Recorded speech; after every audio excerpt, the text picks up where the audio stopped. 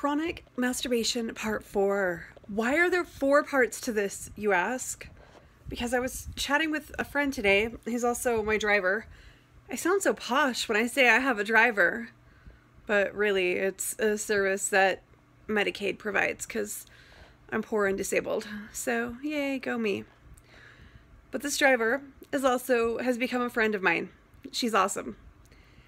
And I was telling her about chronic masturbation, part one.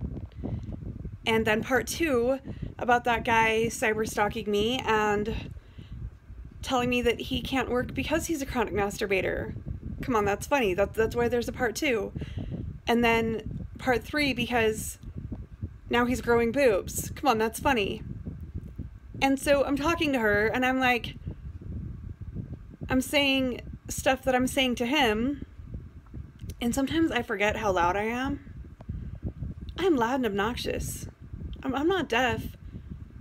I'm not European.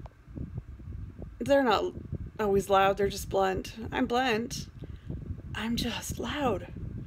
So I'm talking to her, saying the things I said to him, like, So you're a chronic masturbator. Right then, as the van door was open, and a really hot guy walked by. Yeah, that wasn't awkward at all for her. Yeah, she wasn't at all mad at me for that. that that was funny. Come on. So I told her I was gonna have to make a part four for that. She's like, "Why does there need to be four parts?" And I was like, "Um, one part one, because I wondered if I had a problem, because I don't have work or school or responsibilities for it to get in the way of. So I don't know if I have a problem. There had to be a part two because someone cyber stalked me and told me that he couldn't work because of it. That's funny. There had to be a part three because he, now he's growing boobs. Come on, that that's hilarious. And when I said he can't grow past a C cup because I didn't want him bigger than me, that's not to say I'm a C. No, I'm I'm a triple D but he might want to start being concerned if he grows past a C cup. Unless he's like already really fat and he might already be a C cup. Remember that one Seinfeld episode when they invented the bro? Yeah. Men could wear bras, like sports bras. Yeah. Friday night, girls' night out. It means it's finally time for me to take off my bra. Oh.